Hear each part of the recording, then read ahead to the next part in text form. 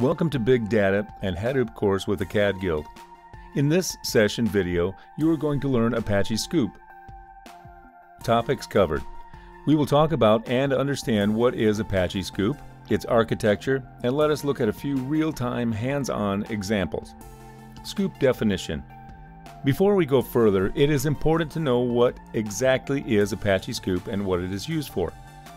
Sqoop stands for SQL to Hadoop.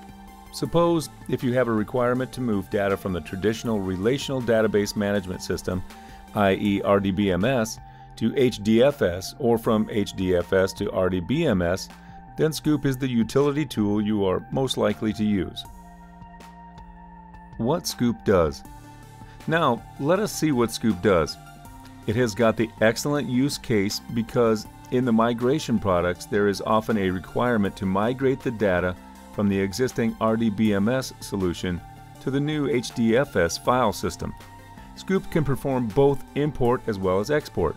Import is moving data from RDBMS to the HDFS, and export is the reverse process, that is moving the data from HDFS to RDBMS.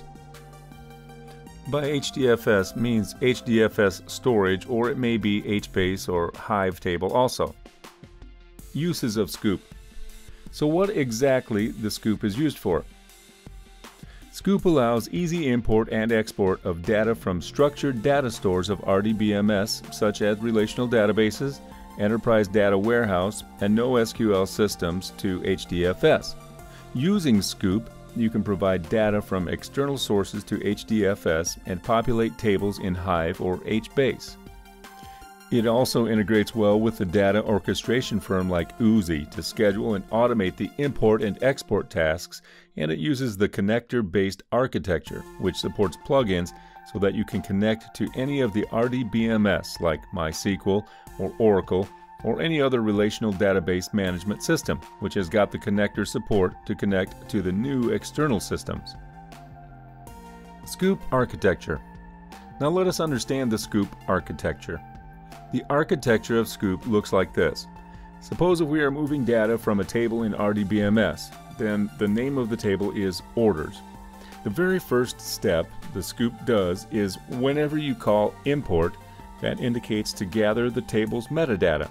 From the catalog table, Sqoop determines what are the different columns, what are the different types of columns, and it performs multiple mapping tasks in parallel. Every map task transfers some of the data present in the RDBMS table. Sqoop makes sure that no single record is transferred by two different mappers. So one record will be transferred by only one mapper, but there could be multiple mappers running in parallel. Every mapper will then produce the output in the HDFS file format inside a certain specific directory. Let us understand how the command of sqoop looks like. This is one of the sqoop command. Sqoop import, you must give the connection string like JDBC, the type of the database, and then the IP address or a name of the machine where your RDBMS database server is running. You can also give port number if it is not running at its default port.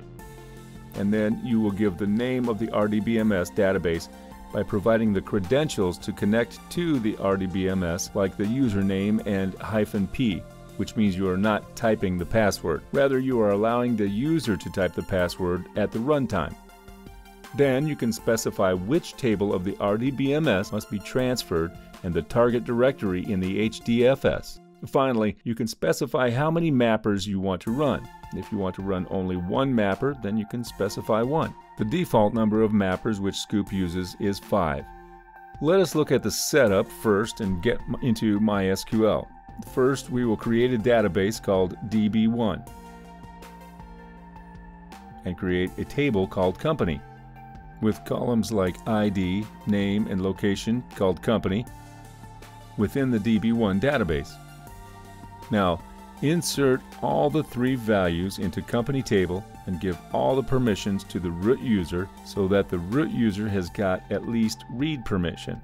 Insert a command commit and come out of the setup.txt.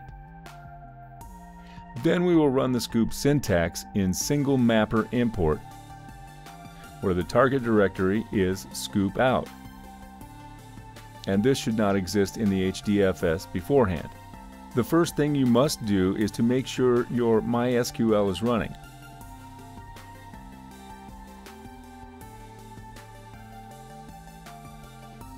The username and the password are AcadGild, so MySQLD is running. I have connected to the AcadGild sandbox using the software called MobaXterm. Now, we will go inside MySQL as a root user and we will print all the copied syntaxes.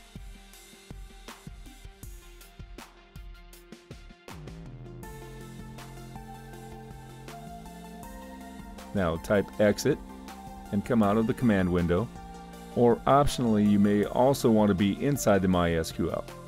Let's go inside the MySQL tab again and use the database DB1.